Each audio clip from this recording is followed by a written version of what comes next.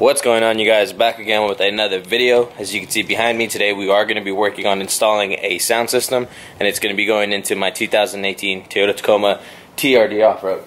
Now, one thing I will say, I can't believe that I've waited this long before doing this mod. This is typically one of the first modifications I do to any and all of my cars. Before I dive um, straight into this install, I'm going to go ahead and just walk through with uh, all the products that we're going to be using for this install. And to make it a little easier for you guys, my audience watching, if you're curious of installing a similar system in your truck, I'm going to go ahead and link every single item that I use down below.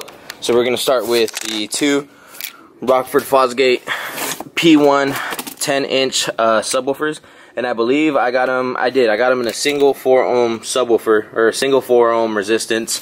Um, that way I'm able to wire it down to a 2 ohm, which I will explain and show you how I do that once I get to that step. But basically what that means is at a 2 ohm load, these two subwoofers will see the max power out of this Rockford Fosgate Prime R500 1D. Now, there's a couple reasons why I went with this amp. One, Rockford Fosgate, of course. Two, it's small and my subwoofer actually has a mounting area right there. And three it's uh, rated for 500 watts RMS but typically the way Rockford Fosgate works is they get they they uh, create their amps and then they test them. And the tested RMS power was 612 which is plenty because these put out 300 RMS so 600 RMS in total. My amp's gonna be giving it 612 as you can see there is the size of it. Very very small and very very fitting and it'll sit nice up on the box. Eventually I do plan on going with a four channel app just so I can get the best sound out of my speakers because let's be honest the speakers on this truck if you don't know are really really crappy the magnets on them are I mean tiny dude so if I ever need it or I should say eventually in the future when I'm ready I do plan on going with a four channel setup so I can hook up all of my aftermarket or once I get aftermarket speakers all around just to complement the, the bass.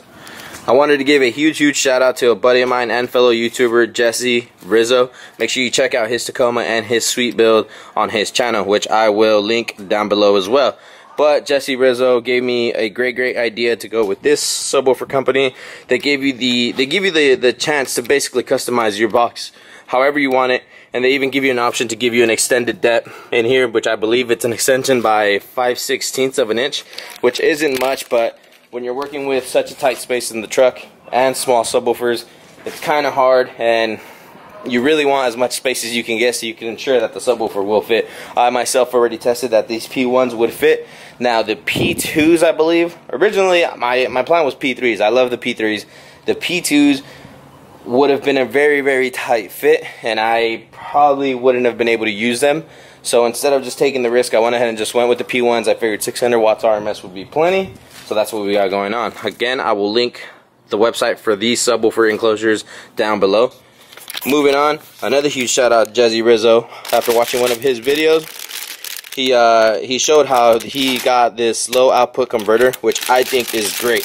Basically what this does is you replace the stock wire harness from the radio to the truck with this and this basically gives you an RCA out right there and also a remote wire which is freaking great. Now for my wiring harness I went with Sky High Audio.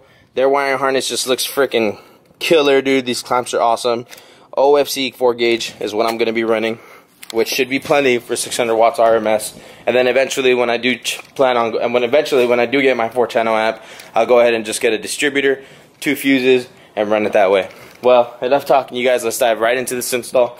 The truck has a lower seat and then an upper backing seat. They're two different pieces. As you can see, this lifts right up. And to remove these two fronts, it looks like it's just two small bolts holding it in three bolts on that side and then we unbolt and drop the back seat. So I'm gonna go ahead and remove these two, the bottom and upper seat, and then I'll move on to removing this backing plate, which now has to come out for the box to sit in place, and I'll show you guys once I get there.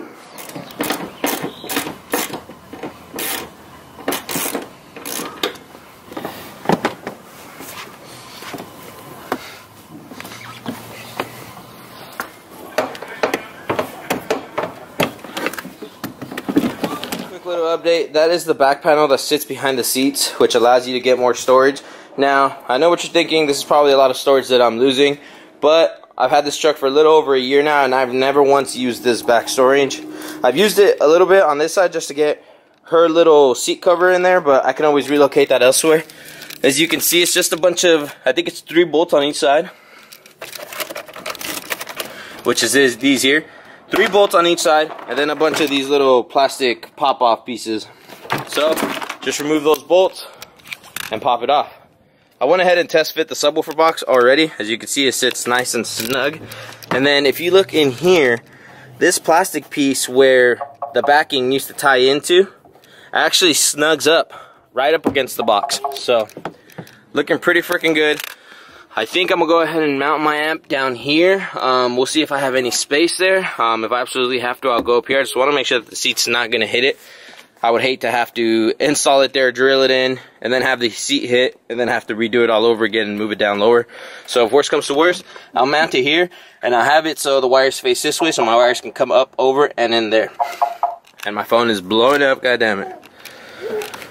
But so far so good. Now that I know that this box fits and everything will go in place, we're gonna move on to the wiring which is probably the hardest part and the most tedious.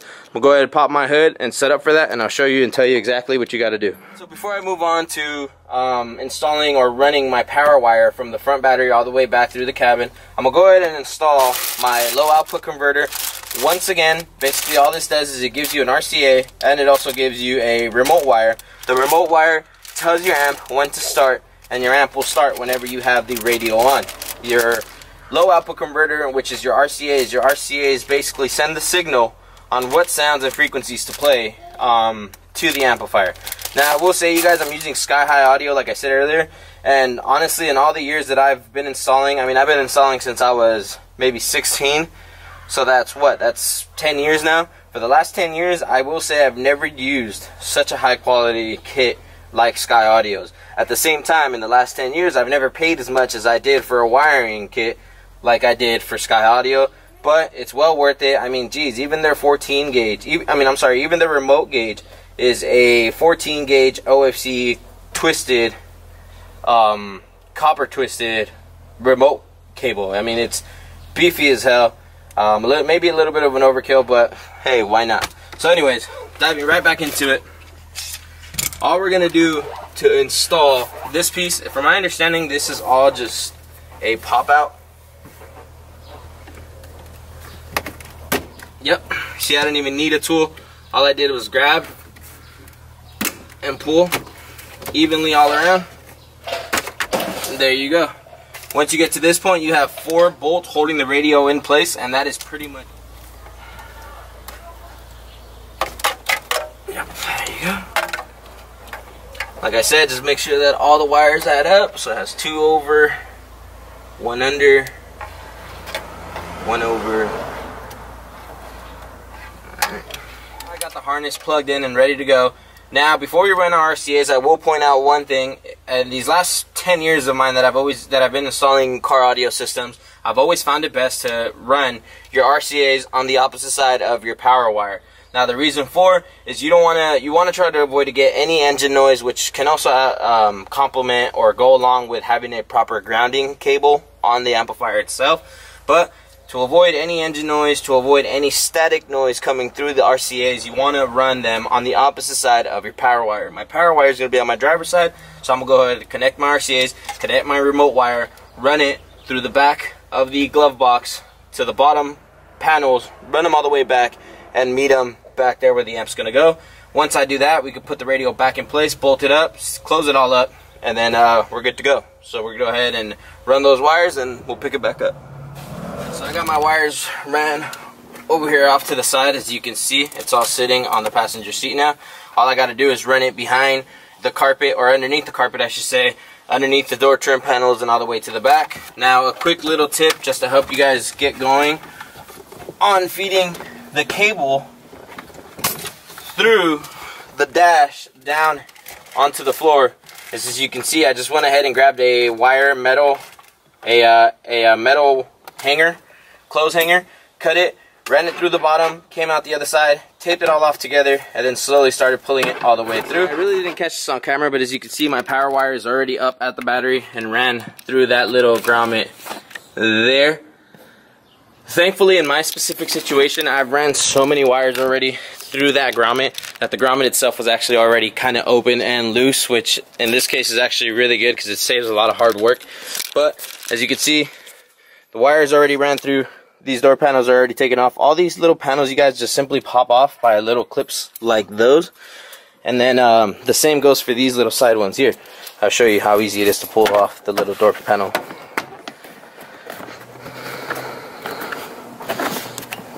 Like that. So now all I'm gonna do is I'm gonna run that blue wire up through here, open up these little taps there, run the blue wire or my four gauge power wire in there, tap it closed, up underneath the carpet, and coming out right here. Little update, as you can see I got my wire tucked, ran nicely along the original or the OEM wire harness that's already in place. I got our 4 gauge power wire in the clips running through underneath this carpet out and going out here. I'm not exactly sure if I want to tuck it in some more because I'm not sure where the amp's going to sit just yet. But that's pretty much it. One thing I did have to do, you guys, just uh, so you guys know, is I had to remove this uh, seatbelt bolt down here just to be able to pop this uh, trim piece up and be able to fit our wire nicely up underneath. As you can see, it's all back and tied in together. Before now I go ahead and snap all this back to place and back together, I just remembered I also have to run the bass booster wire for our amplifier. Our specific amplifier comes with this little bass knob, which basically just gives us the adjustability to control the gain of the bass or of the amp on the fly with just a little nub which is that right there. Now looking back at it, you guys definitely would have been a lot easier to run this wire first and then my power wire on top of it. So if you are doing this at home by yourself, make sure you go that route. Run this one before you run your power wire. It's going to be a little harder for me now, but I'm to go ahead and do it. Run it on this same side and we'll pick it back up. So as of right now, I got two of the four wires that I need ran already. I got my power wire. I got my bass knob control I got my ground wire already back here, which I'm just going to ground out to a point back here somewhere. Now I need is my remote wire and my RCAs, and then install the speakers, connect the speakers, mount the amp, and we should be ready to go. Everything's all cleaned up on this side already. I don't know exactly where I want to mount this yet, this uh, bass knob. I think I want to do like a hidden setup where all I have is the knob sticking out either from like here or here. I was really wanting to go here with it, but on the back side of this, there just isn't enough room. So I'm not quite sure where I'm gonna mount this just yet. You do have the option to either just double-sided sticky tape it up somewhere or use screws. I would prefer not to use screws and make any holes on this. I would rather make a hole on this little panel here. But we're not quite there yet, so I'm gonna go ahead and just leave that there for now. We're gonna go ahead and flip the truck and then uh, start working on the passenger side. Alright you guys, so my RCA and remote wire are there. As you can see I just tucked it up underneath the carpet, have it running back out here into the clips, into this little trim piece here, back out this way underneath the carpet, and out right there. So we're pretty much now at the point where I need to verify and see where I'm going to mount my amp. That way I can cut all these wires to size, hook everything up. I still got to find a ground. Now you guys, I cannot stress enough one of the most important wires and honestly I feel like it's the wire that can either make it or break it for your sound system as far as the amp working and functioning properly is your ground you got to verify and make sure I've had systems where I've installed it before and everything was installed right everything was working right everything was ran right but let me rephrase nothing was working right it wouldn't turn on I wouldn't get a signal nothing but everything was wired and hooked up and connected properly so ended up going to the ground changed up the ground, cleaned up the ground, and voila, it all worked properly. So I can't stress enough how important the ground is. Now the point and the best ground you can get is one that's directly off the chassis of the truck and one that's clean. For example, this is the mounting bolt for the seatbelt and for the back seat. For the seat, I'm sorry, for the seatbelt, back seat, and the connection of the seatbelt, the plug-in here. That goes here. So now this will be a great grounding point. However, as you can see, it's all painted. We need to clear out and grind away all this paint, sand off all this paint so it's bare metal, so it makes a bare metal connection with the truck. That right there will be a great ground. Uh, I'm gonna look around elsewhere. I don't really see any other place. I guess I could go up here, but that would just be up high and you'd be able to see it. So actually, I think I am gonna go there. And as a matter of fact, if I go over here, which is the same as here, that would work out great. So I think what I'm gonna do is I'm gonna go ahead and go with that one since that one's already in place. And this one I gotta put in place when I install the seat. At least now I know that I can get to that one without the seat having to come out. So I'm gonna go ahead and go there, clean up that ground, and uh, that should be pretty good. So, we're gonna go ahead and move on to that. I'm gonna see where I can mount this amp. Once I verify where I wanna mount this amp, I'll pick it back up. One of the great things about this Sky Audio wiring kit that I got is that all of the O-rings at the end of the, the terminals at the end of the wire come already pre-cramped and it's a very, very snug and tight fit. As you can see, I went ahead and sanded out the hole, got rid of all that paint. I did not have sanding paper. Sanding paper will be plenty enough to get that sanded down. So I just went ahead and used my Dremel with a sanding bit at the end of it. As you can see, no more paint, all clean and smooth. So what I'm gonna go ahead and do is I'm gonna mount that there, and then I'm gonna go ahead and mount the buckles on top of it and get our grounding point right. Just a quick little update. I am kind of rushing here because I do have to go to work in a little bit and I really want to finish this and at least have the subs playing so on my way to work, I can really enjoy it and kind of set the settings. As you can see, I went ahead and I mounted the amp, or actually I say I'm, I'm gonna mount. It's not mounted yet, but I'm gonna mount the amp upside down simply because that way I can at least manage the wires coming in here. Now it is kind of a tight squeeze because of this big, thick 4 gauge. 8 gauge would have definitely been a lot easier to work with, but 600 watts RMS. I wanted at least 4 gauge. That's just what I feel comfortable running. So I went ahead and ran the 4 gauge. Um, but as you can see, everything is mounted. Everything is connected. My ground wire is to the ground, which is this black one here. Back to our spot where I told you guys earlier. Uh, battery power coming from the front, which I still got to connect the fuse up front. Our remote wire, which is coming off of this side. RCA is coming off of this side as well. And then we got our bass knob or bass boost connection that's going to go there. Another reason why I wanted it to mount it upside down is also because now I have access to all my settings here. That's another reason why I think I'm going to wait to put the seats back in.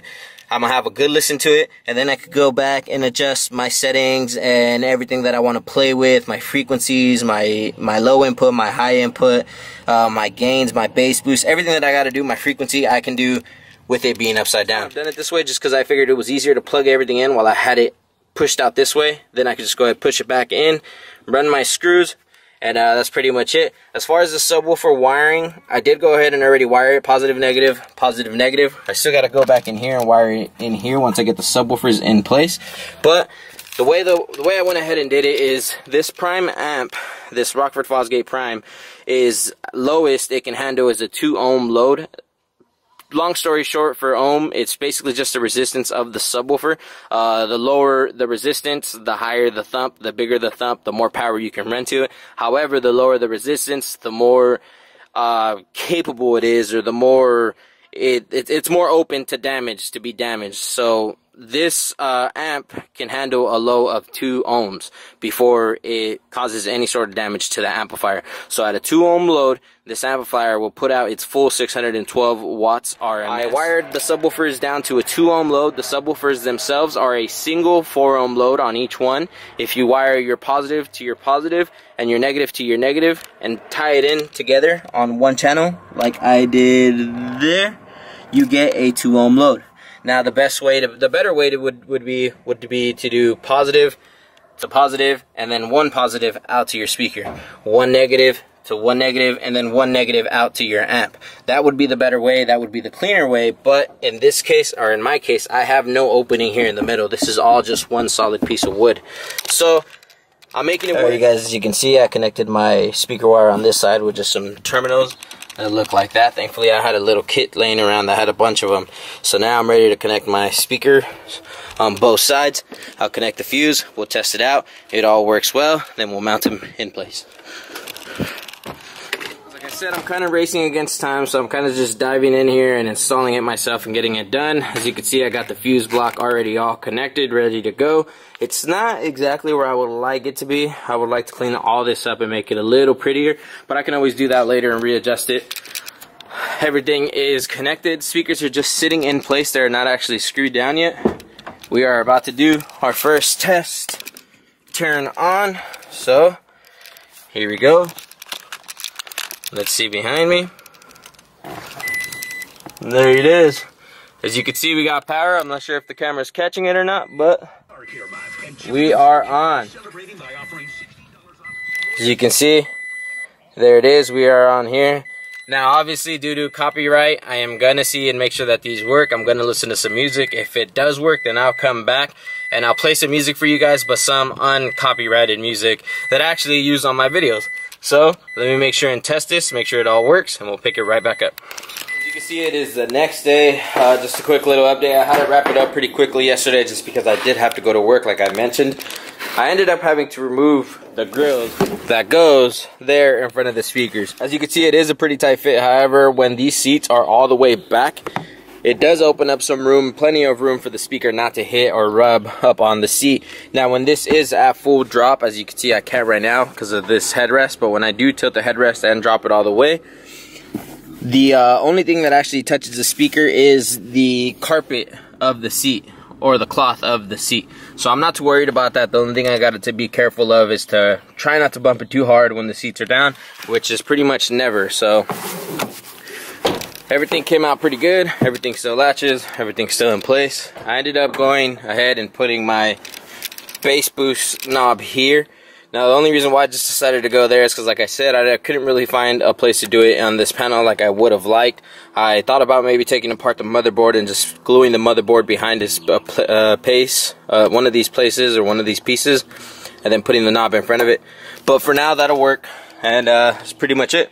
I'll go ahead and show you guys kind of what it sounds like now. The video is obviously not going to do any justice to it, but let me tell you guys, I myself am very, very impressed and surprised that these two little 10s actually hit as hard as they do. So I'll go ahead and show you that. As, like, as I said earlier, I can't really play copyrighted music, so I'm going to just have to go with this song that a buddy of mine actually created for our YouTube channel. So huge shout out to him, huge shout out to him, and thanks. Like I said, the video is probably not going to do it any justice, but please believe it sounds good.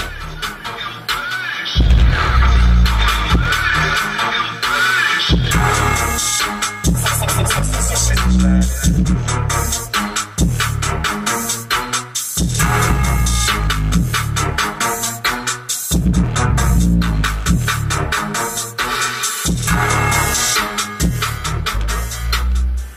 you go you guys. That's pretty much it for this video. Uh, like I said everything fit in pretty nicely for the most part. The subwoofers themselves I feel like the uh, surrounding on the actual subwoofer is a little beefy which is causing it to possibly hit a little at full flex but like I said for the most part that's all plastic and cloth so I'm not too too worried or there's nothing sharp that can cause a hole um, but that's pretty much it pretty quick install not too bad not too hard that freaking um, low output converter that connects to the OEM wire harness was an absolute lifesaver. So once again, huge shout out to Jesse Rizo for showing that on uh, one of his videos. Make sure you check out his channel.